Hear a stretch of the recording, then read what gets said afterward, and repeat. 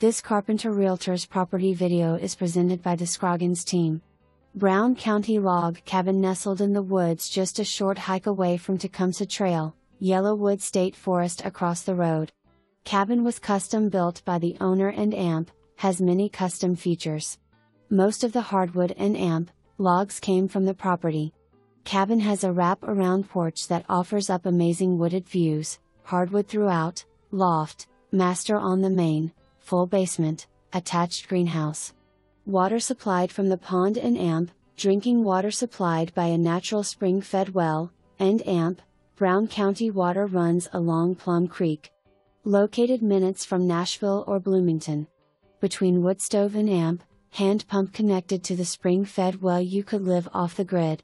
Get back to nature and AMP, enjoy the scenery in this one of a kind Brown County log cabin.